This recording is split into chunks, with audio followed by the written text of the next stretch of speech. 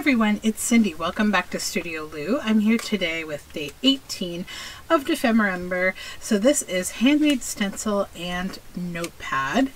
If you are new to Defember, you can check the description box below to find more information about it. The animal today is this flying fish, um, which was provided by Luise Heinzl um, and Barbara from 49 Dragonflies for this challenge. And I've decided I just love it so much that I just want to use their image. I don't want to do anything um, to create my own flying fish today. So the other aspect of today is just simply that I'm having a super busy day. It's one of those busy, busy days of uh, December. So I want to really keep it very, very simple today. Um, so this is like the kind of video I feel like is good for people who, you know, they don't have, you know, maybe access to things to make very complex stencils. I just want a simple way to make a fun stencil. Um, and that's what I'm going to do. So I'm just going to fussy cut this out. I'll talk a little bit about maybe a couple ways that I've created um, stencils and masks or whatever in the past. So one of my favorite ways is to laser print on acetate um, an image and then you can cut it out with your uh, with a razor knife. Um, I know there are some tools like ScanNCuts and things that can do that kind of thing, or Cricuts. I do not own those tools, and I don't really see myself needing to own them. Um, the other way is to print an image on your printer, just simply on a piece of paper. Then if you have a laminator, you can laminate it and then you can cut the image out and you'll have a nice plasticized um, stencil. So anyways, what I'm going to do though is considerably easy today. so first thing that kind of caught my eye when I came into my studio today was all of these. Um, these are paint swatches. So I don't know why I thought of them. I guess just because they're like green, like algae, like ocean, you know. So I was thinking about that. So I'm going to use them in a couple of ways. And then this is a piece of my cabbage dyed paper. Um, and I'm going to use that as the basis for the cover of my notebook. So the first thing I want to do is create my stencil. So what I'm going to do is actually just use a punch. And I think I like this punch. This is a Stampin' Up! punch, and I like this particular shape. I think it will make a nice background for my, my fish. Um, so what I want to do is just take a more simple colored page um, of this paint strip, and I'm just going to go ahead and cut out some of these shapes here. Like so. So there you go. We have a stencil, essentially. Um, and I may use those for something as well to just kind of accent this. So then I want to use some Distress Oxide in mustard seed. And I am going to just go over top of this cabbage dyed paper and just use this as a mask to create a bit of contrast, um, the color contrast of the yellow on this bluey kind of page. And this is a relatively like, you know, probably quite temporary type stencil, but it works. So if you are, you know, in a pinch and you need to stencil something and you don't own stencils and you don't have a lot of time like me um, to make a stencil, this is a quick way to go about it with an easy material and you could use you know any kind of um, cardstock paper or an old card junk mail like all of those realtor brochures that I get that are on that nice thick cardstock that the poor things pay for and I just end up recycling. Um, yeah. So the other thing you can do is um, you know, you can get a little creative with your placement of your stencil. So, you know, you can see here, we've got this, and that's just using it straight. So then maybe you can bring it right up in here. It's another benefit of having this little sort of temporary stencil is that you can place it wherever you want and you can use singular little images. And it's really fun. You could obviously layer different colors. I'm just choosing to use these colors. Yeah, so that's pretty fun. Now I'm going to do one more line of the kind of normal picture, or stencil rather, the normal placement without doing any movement.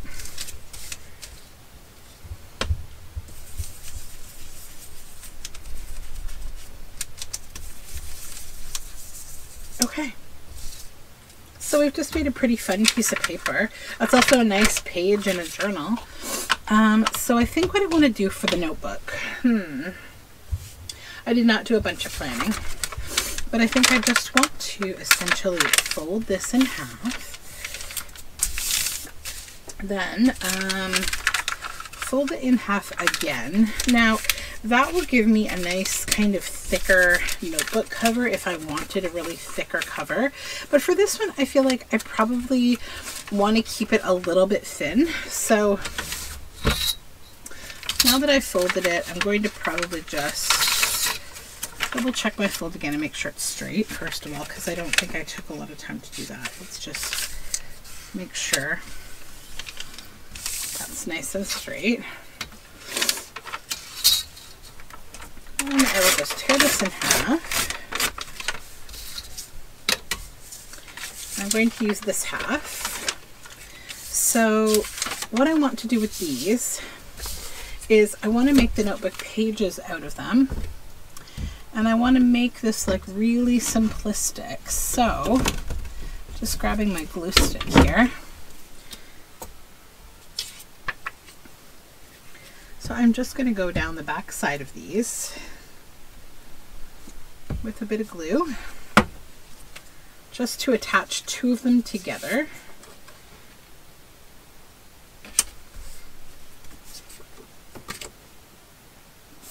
There we go.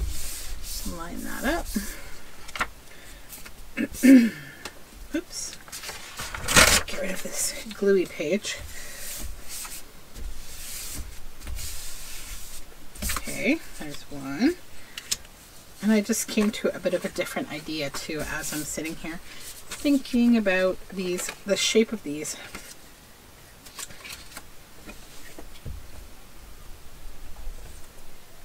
I'm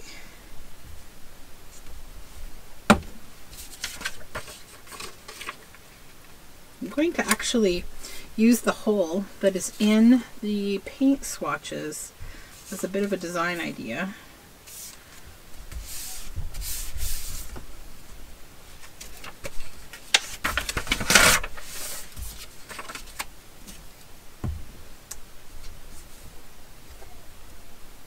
Now I think this particular image of this flying fish, it's really quite nice. Um, it would look really nice printed multiple times. You could do like a really fun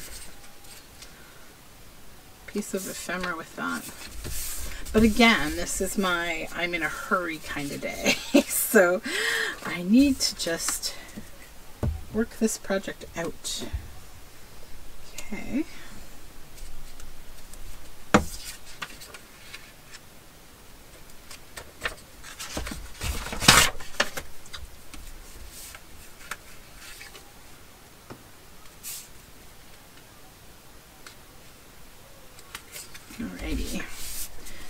We have four of these. And these are going to be the pages of my notebook. Then I have this at the front. So I'm going to take two and two. I want to stagger this one right there, I think.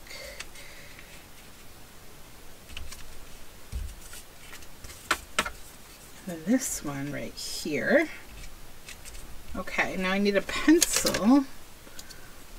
And I want to just move up a little so you can see what I'm doing. So see, I've staggered one here, the hole's here, the other hole's there. Make a little rough mark there.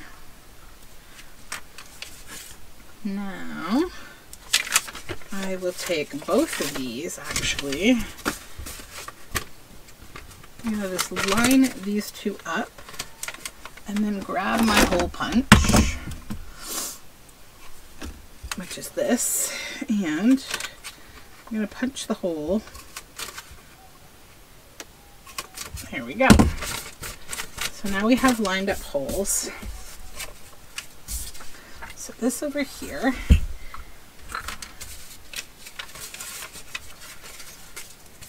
I'm going to use a little bit of glue. Um, on the back of here.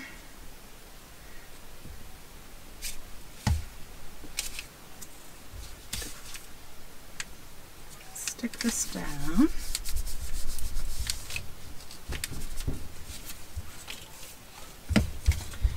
Grab those two.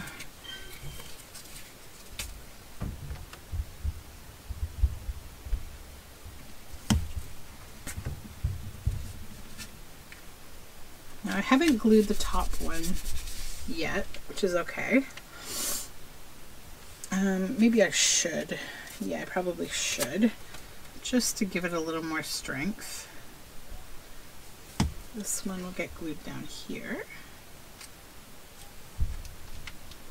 And this one I did not glue. It's going to flip it up. Sorry if you can't see. Just give me one sec.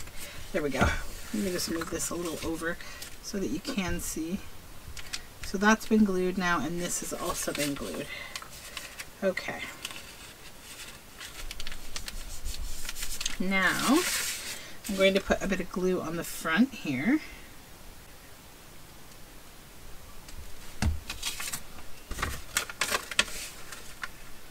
That other piece, we're going to just line those holes all up. Okay.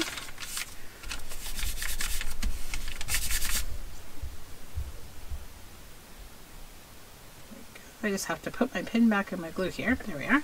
Now, what I'm going to do, um, I think, is just to keep this extra secure um, and have it not be scooching around at all, and also just for a decorative element, I want to do just a couple, like a little rectangle of stitching around here, and then I will be right back. Okay, so I'm back from the sewing machine. I'm just going to get rid of this little string. Now I need a couple of eyelets that I'm going to put in those holes. So let me see if I can find a couple here from my eyelets. We have silver. I could also do white, but I think I think I feel a little partial to silver today. There we go. Come back. Does anyone actually use the back of eyelets? I rarely do.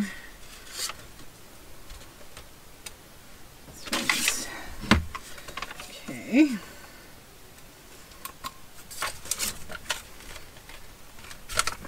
One.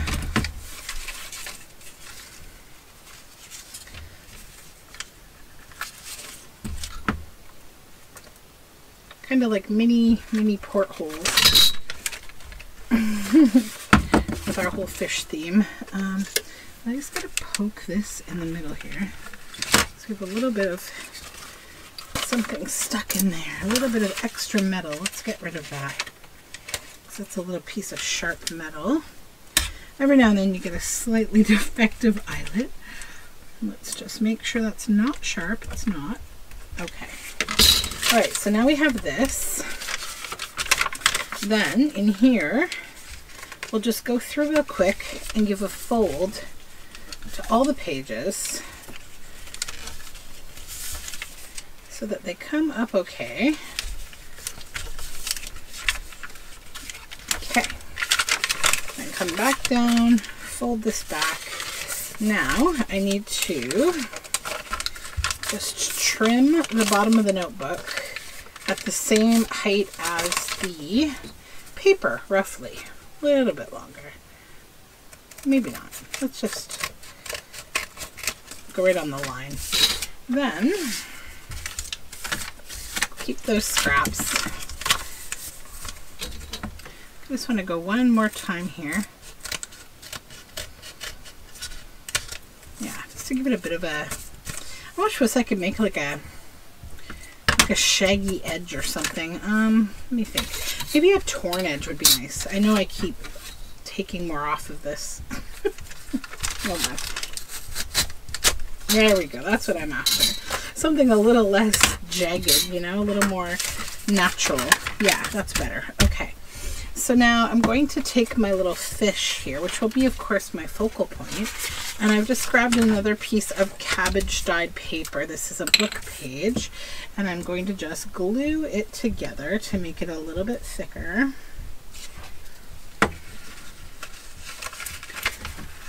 As so. Then I will glue my fish on here.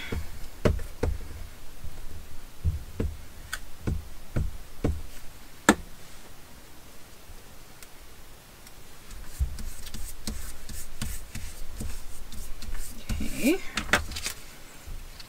I'm going to leave a little border.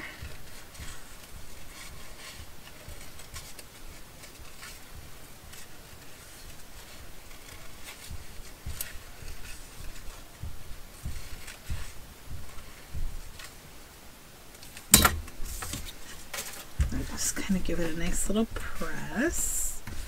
There we go. And then just decide how we want this to be. I think I want it to just be like right here.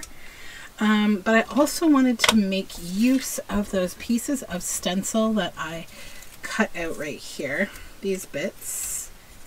Um, and then I was thinking, where is my stamp? Here it is.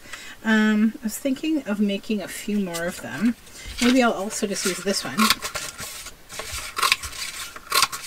Okay, so that uses that. And then I needed something more, a little more dramatic in color maybe. Oh, here. I've got a scrap that might be good. It's got some fun color on it. You know, I'm a fan of using up scraps. And that's got some nice color and texture.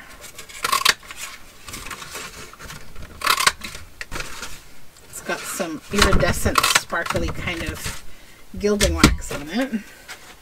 So those will be kind of fun. So now what I'll do is just maybe move my glue book out of the way here. This out of the way, this out of the way. Okay, so now let's just lay down a little bit of a collage.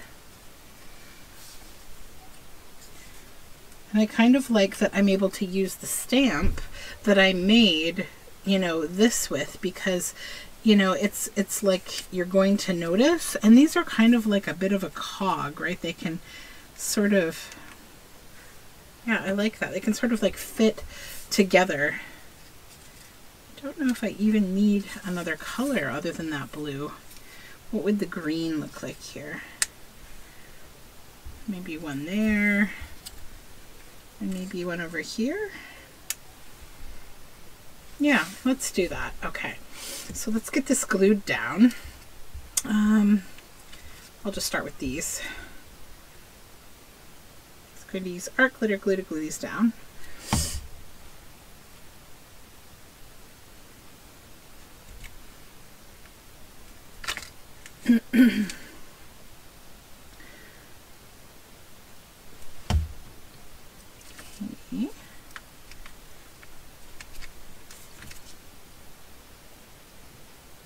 And then before I glue the green ones, I think I'm going to just ink the edges a bit with this same ink.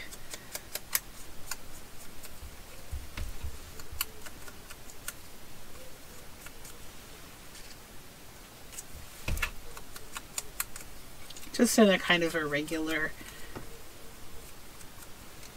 regular regular just to add a little more strength to the color because it's kind of boring. It's a very dull paint chip. but it will be nice to just fill it in. And also give it a little more texture.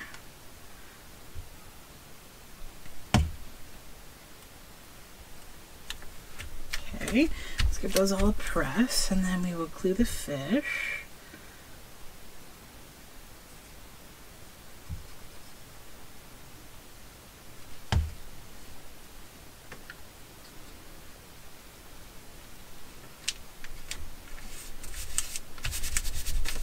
Okay, then when I open up the booklet, I think what I will do is just use a few of these to just add a little visual interest. So we'll put one here. Just kind of carry the theme through the whole piece of work. And these are good because they're lighter in color than the other paint chips. It's also a great way to use up paint chips. I think sometimes, you know, we pick these things up or we end up getting like a whole packet of them from a thrift store and then they become these things that end up getting into our stash that just like hang around forever and we're like what are we going to do with these things? So use it up. And then one more here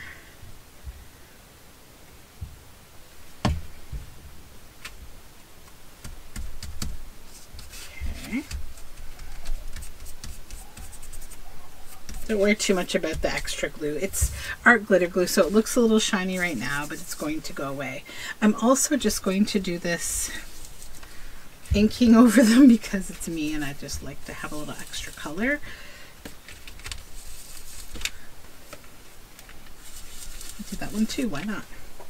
Okay, so that's that. This is that. Then one more thing I wanted to do was where I have these eyelets here.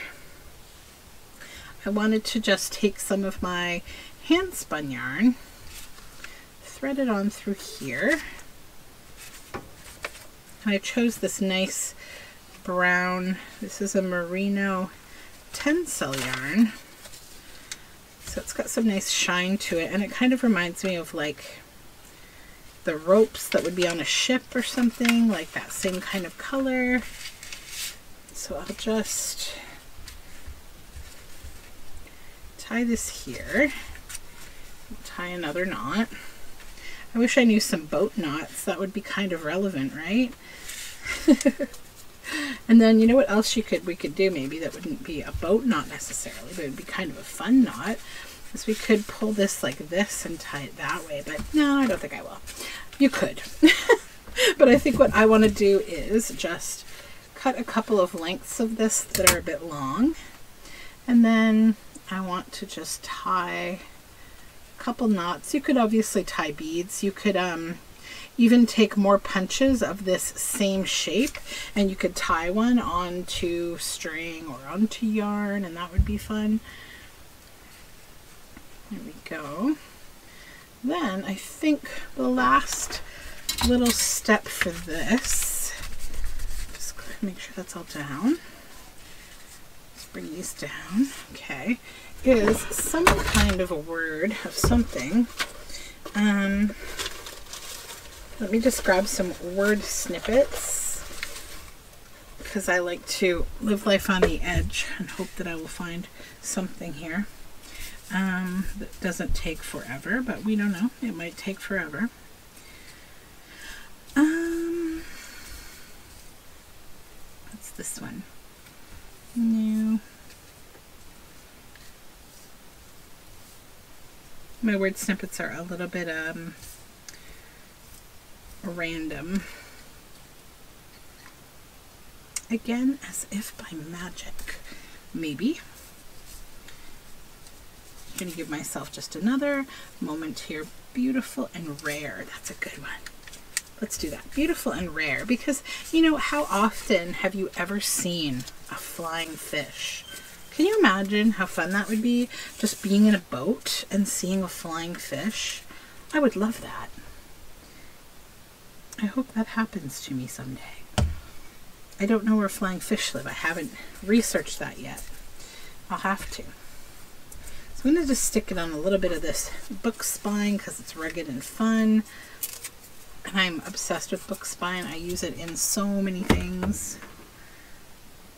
Okay. Let's get it glued up here. And it's got kind of like a fishnet type feel to it. Just give it a little press down. All right, so there we go. We have our little notebook with our handmade stencil and our flying fish and a few more bits of interest and unexpected materials. I think what I would do now with this um, is just, you know, to keep it within my my style of wanting to be a little more vintagey is just um, come in and like hit it with some vintage photo ink around the edges um, until it's all inked up and that would make me happier, I think.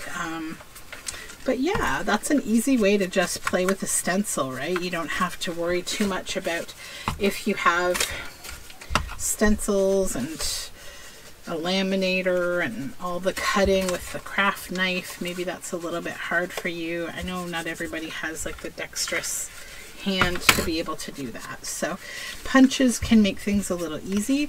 And the fun thing about like stamps and punches and all the simple shapes is that you know they're pretty easy to translate together so if you create you know you think of how stamps and dies or stamps and punches can fit together this is a way to maybe add stencils to that whole um that whole game of like using everything together right so yeah, that's fun. And you could also do a little something on the back if you wanted to, but I think I am good with this as is. So thank you again for joining me for this day. I will be back tomorrow with day number 19 um, of this super fun Dephemerember. So have a great day and we'll talk very soon. Bye for now.